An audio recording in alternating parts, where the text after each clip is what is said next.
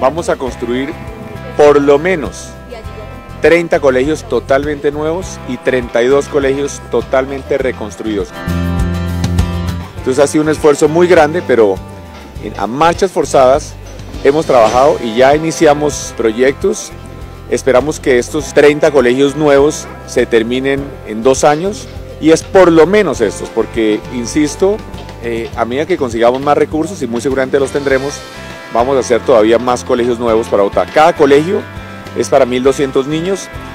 El terreno es un terreno grande, buscamos que sea mínimo de 10.000 metros, de una hectárea cada terreno.